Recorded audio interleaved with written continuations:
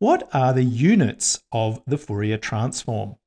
And we're going to see that the Fourier transform is actually a density function. So what does that mean? Well, let's think about the units. So here's the equation for the Fourier transform. And if we think of a signal as a voltage signal, electrical signal, a voltage signal, then this is volts being added up over time. So this is volts times time. So volts times seconds. And uh, seconds is in fact 1 divided by hertz because we're thinking of the frequency domain. So actually it's volts per hertz. And I don't know if you've ever thought about that before. But this points out to us that it is, a, in fact, a density function. The Fourier transform, this function here, is actually a density function. Well, what do we mean by density function? Because it's volts per hertz, which is when you're dividing by per hertz, that means it's a density function. It's not just the volts. The time domain signal was measured in volts in the time domain, but when we're looking in the frequency domain, it's volts per hertz. Why does it have to be this way? Why can't it just be volts? Why can't we have a definition where it's just volts? Well, let's look at an example here. So here's an example of a Fourier transform. We're just looking at the positive frequencies of the Fourier transform. And let's think about what this actually means to us when we see something like this. Uh, well, what it means is that there's uh, this, what does this height actually mean? That's what we're talking about when we're talking about the units. So this height here well, I think we're pretty familiar with thinking that that height tells you that there is a component of the time domain signal which is at that frequency and has that value.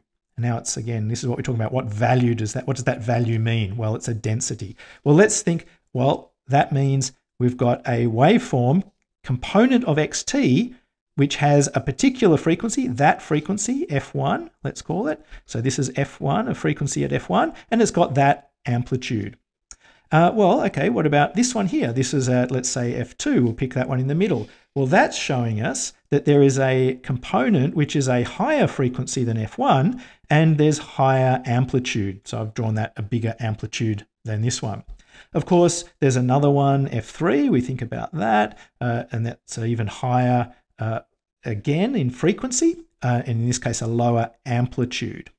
Now, this kind of makes sense and we're adding these things up, but it really tells us as soon as we think about this and as soon as we realize the fact that f is a continuous variable, so there's frequencies between these ones that I've chosen, and there's ones between those, and there's ones between those, and there's infinite resolution in the frequency domain. So I could draw some waveforms between f1 and f2 and give them an amplitude, uh, and between F2 and F3, but then I could keep doing that infinitely with infinite resolution. And if I gave them all an amplitude, and if it was the volts, then I'd be adding each time more and more voltage for every extra degree of resolution that I go to.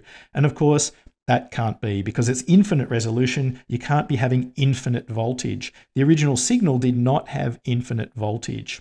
So what it tells us is that when you think about it like this, you realize that it has to be a density. It has to be that this amplitude represents a volts over a certain frequency range. If we're looking at an exact frequency, then the frequency range is in fact zero and the contribution would be zero because volts per hertz. If the hertz is, uh, if there's no frequency range, if it's zero, then you've got zero volts. It's only when you add it up over a particular frequency range that you actually get a voltage. And that's why the Fourier transform is a density function. It is a voltage density function. So I'll put uh, voltage density function, and that's important um, when we're thinking about the Fourier transform. Okay, so if this has helped you to understand about more about the Fourier transform, give it a thumbs up, helps others to find the video. Um, of course, subscribe to the channel for more videos and check out the description below. There's a web page with a full categorized listing of all the videos on the channel.